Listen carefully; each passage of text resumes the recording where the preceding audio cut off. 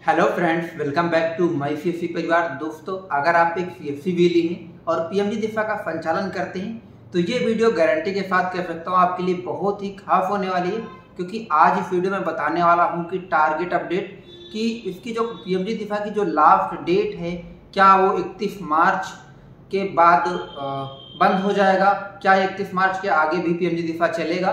तो उसी का अपडेट है, बहुत सारे हमारे जो वेली हैं, वो परेशान हो रहे थे।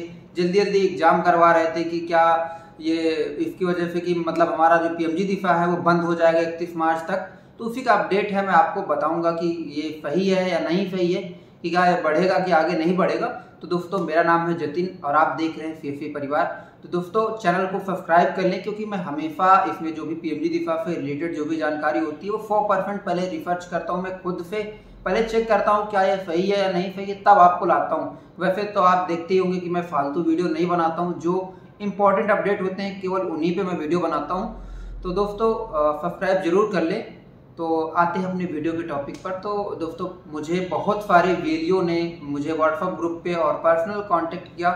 कि मुझसे पूछा कि सर, क्या ये इकतीस मार्च के बाद हमारा जो पी एम का जो प्रोजेक्ट है, वो बंद हो जाएगा या नहीं, आगे चलेगा? तो दोस्तों, मैं आपको कंफर्म बता रहा हूँ, सौ परसेंट मैं कह रहा हूँ कि ये जो प्रोजेक्ट है, वो आगे बढ़ेगा।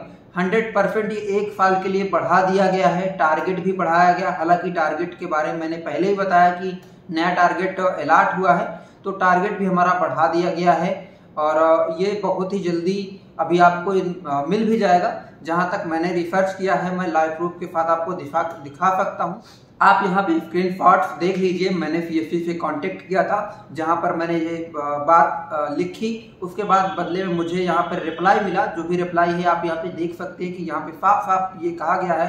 सी ने साफ़ साफ़ कहा है कि आपका जो प्रोजेक्ट है पी एम दिशा का जो प्रोजेक्ट है, वो अगले सन दो तक के लिए बढ़ा दिया गया है। जो भी वित्तीय वर्ष रहेगा, तब तक ये चलेगा और अभी ये चलेगा। आराम से आप देख सकते हैं, मैंने कुछ अपने हेड ऑफ़िस में बात किया, जो भी स्टेट के होते हैं, वहाँ पे मैंने अधिकारियों से बात किया।